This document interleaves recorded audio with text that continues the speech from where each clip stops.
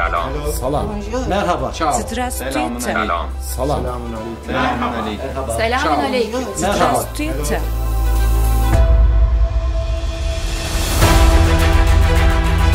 Merhaba.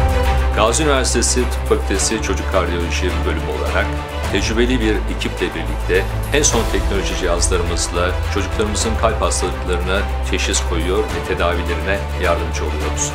Son teknoloji cihazlarla bebekleri annelerinin karnından itibaren takip edip doğumdan sonra gerektiği durumlarda ilk ve hızlı bir şekilde müdahalelerini gerçekleştirebiliyoruz. Bu konuda uzun yılların deneyimine sahibiz.